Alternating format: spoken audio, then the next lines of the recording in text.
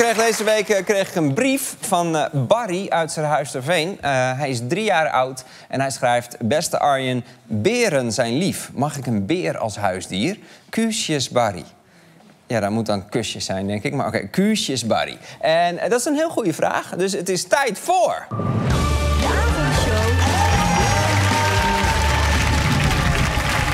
Ja, de avondshow. Tot op de bodem, waarin we zaken tot op de bodem uitzoeken. En veel vaker nog net daarboven. Uh, Barry, mag jij een bruine beer als huisdier? Nou, uh, Barry, ik vind het zelf ook een beetje raar. Maar ja, in Nederland mag je in principe een beer als huisdier houden. Dit las ik namelijk in de Quest. Momenteel weerhoudt geen enkele wetje ervan een bruine beer te houden. Dus je mag dit beest als huisdier hebben. Dit lijkt me voor beide partijen zowel de beerhebbende als de beerzijnde, geen goed idee. Maar het mag dus wel. Je mag in Nederland wilde dieren als huisdier hebben. Zebra mag ook. Waterbuffel, tuurlijk als je het zelf maar weer opruimt. Er zijn in Nederland bijna geen regels over huisdiersoorten. En dan krijg je dus dit. Een stokstaartje, een woestijnvos of een stinkdier. Niet zo geschikt als huisdier zou je zeggen. Maar influencers op sociale media scoren ermee. Ik heb stinkdier, ik heb Jeanette-kat, ik heb stokstaartje, ik heb fennec fox, ik heb slak, ik heb spin, ik heb slang, ik heb genoeg. Ja. Hij heeft eigenlijk alles behalve lid worden. Dit, is, uh, dit is de influencer Wildebras. Hij heeft maar liefst 21 dieren in huis. Althans, dit was een jaar geleden. Ik weet niet welke dieren hij in de tussentijd bij elkaar heeft gezet. Dus misschien heeft hij nu gewoon één hele blije slang. Um, hij heeft trouwens ook wandelend blad.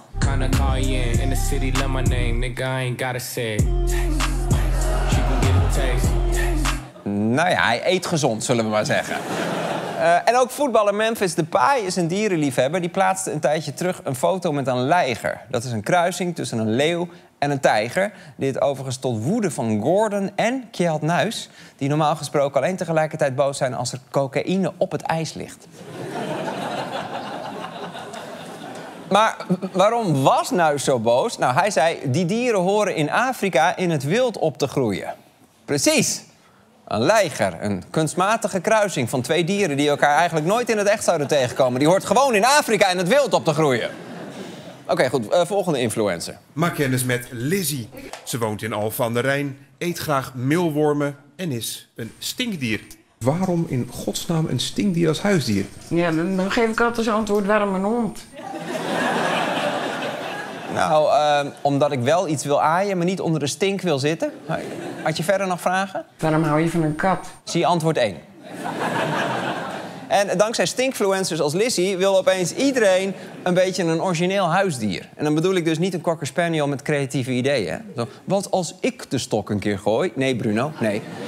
Nee, ik bedoel originele huisdieren zoals stekelvarkens. Kijk, die zijn gewoon te koop op Marktplaats. Of deze Wallaby Man Wit, 400 euro.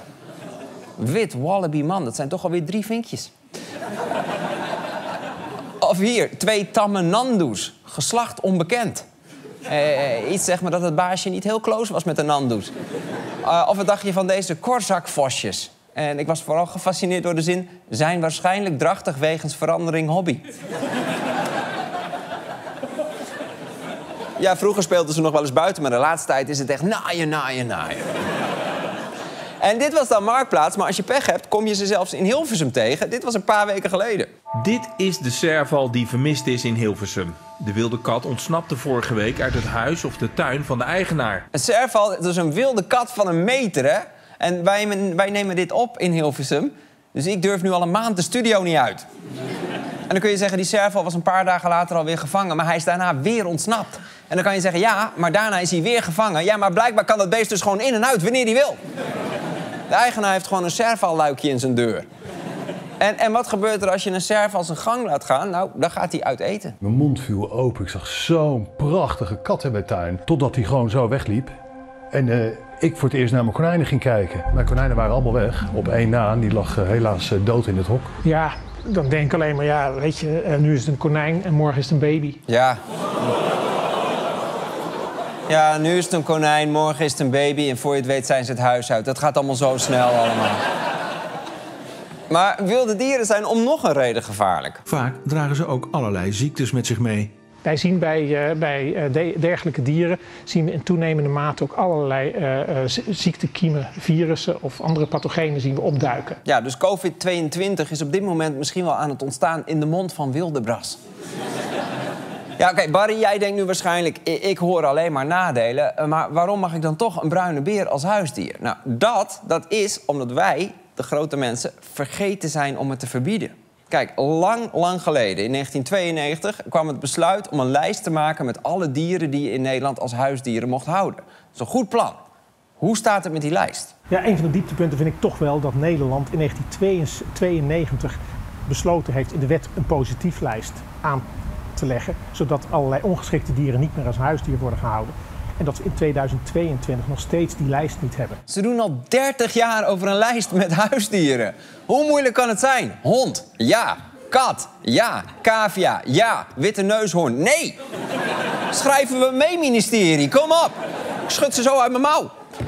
En oké, we hadden heel even zo'n lijst in 2014, maar die lijst werd aangevochten door Platform Verantwoord Huisdierenbezit. Dat is een stichting die mensen vertelt hoe ze voor hun huisdieren moeten zorgen. En dan denk je, wat een sympathieke club. Maar op hun website staan bijvoorbeeld ook uh, giraffen en okapis.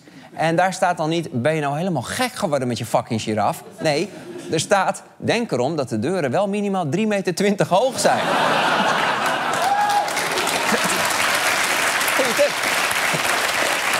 En ze geven ook, uh, ze geven ook tips voor puma's, uh, kamelen en, let op Barry, beren, uh, krokodillen en zelfs reuzenpanda's.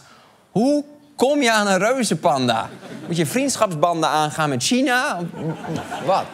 Anyway, dit platform Verantwoord Huisdierenbezit heeft die positieflijst, toen die er eindelijk was, bij de rechter aangevochten omdat het blafhert niet op de lijst stond. Even voor jullie, dit is echt waar, dit is een blafhert. Ja. Het ziet eruit alsof een hert een hele gezellige avond heeft gehad met een tackle. Um, en de rechter die is toen eens goed gaan kijken... en die heeft uiteindelijk de hele lijst van tafel geveegd. Dus nu is er nog steeds geen lijst.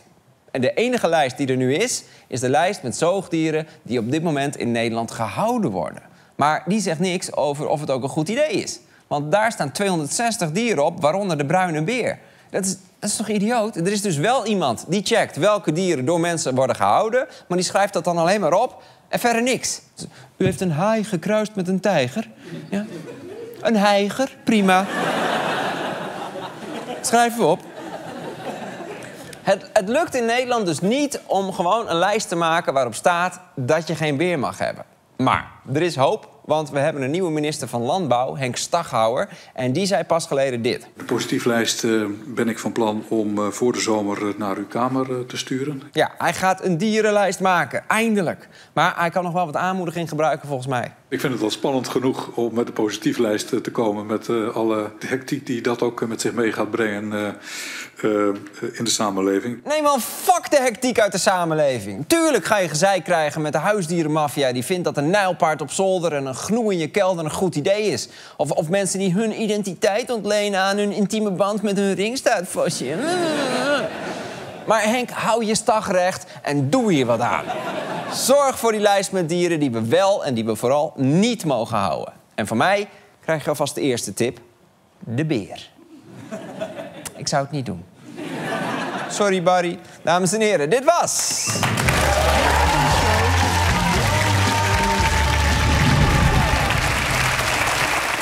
Mensen, de winter is voorbij. Als je een strak algoritme wil hebben in de zomer, kijk dan nu verder op NPO Start.